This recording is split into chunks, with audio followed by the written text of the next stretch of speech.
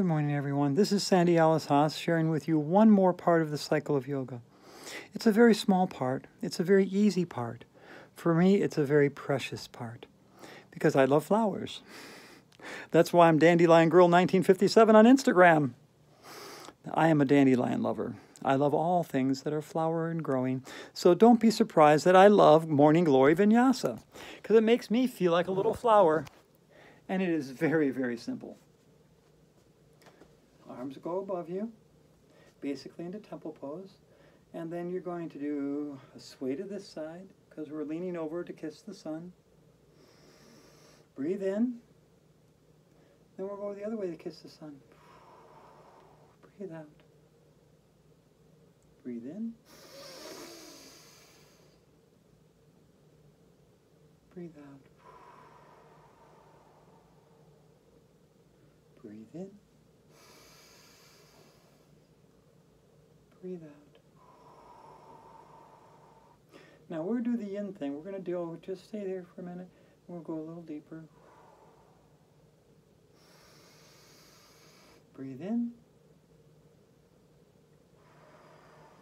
Breathe out. Now we're going to do the same thing in a forward fold. When we come to do this forward fold, we're going to reach down and we're going to fold like a little flower, reaching to our roots. When we breathe in, our arms come up our legs. And then we breathe out, our arms go back down. Breathe in, our arms go up. Arms, our arms go back down to our roots. Now we're going to come back up to our flower because I just love this so much. We're going to lean one side. Oh my God, we're a little flower. Breathe in. We're going to go to the other side. Breathe in. Go to the other side. I love being a little flower in the sun.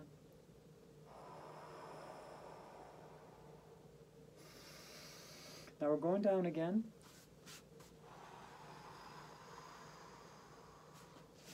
We're going to come up on our legs as we breathe in, and we're going to go down again. Breathe in. At no time are you locking your knees.